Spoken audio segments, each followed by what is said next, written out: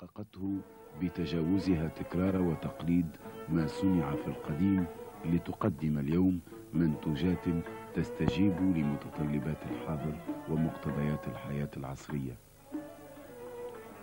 وجاء هذا بعد المبادرات والقرارات الحازمة التي اتخذها سيادة الرئيس العابدين بن علي والتي تمثلت في العديد من الحوافز المالية والمعنوية للصناعات التقليدية أعطتها الدفع اللازم لتكون رافدا اقتصاديا يواكب التطور المستمر للبلاد.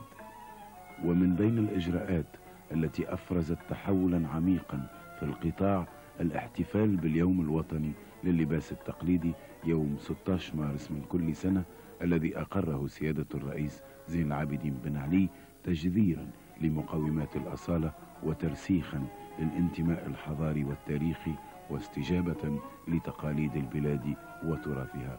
وقد بعث هذا القرار نفسا جديدا في صناعة تلاشت وكادت أن تنقرض فازدهرت من جديد وانتشر رواجها وصالحت بذلك المواطن مع هويته.